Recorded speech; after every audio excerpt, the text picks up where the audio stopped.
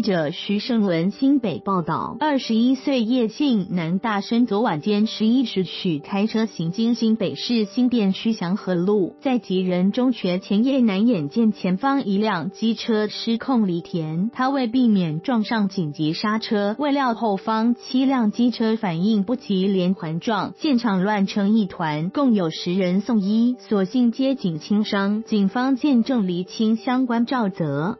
据了解，叶楠所驾驶的修旅车登记在父亲的公司名下，拥有三年驾驶经验的他，当时正准备回家。叶楠说，有辆机车行驶在他前方的内侧车道，他疑似想要超车，但因车速过快失控，所以打滑，连人带车往外车道滑，还在地面擦出火花。他为避免碾压打滑骑士，所以急刹，没想到会造成后方追撞。他也觉得自己有够。够倒霉！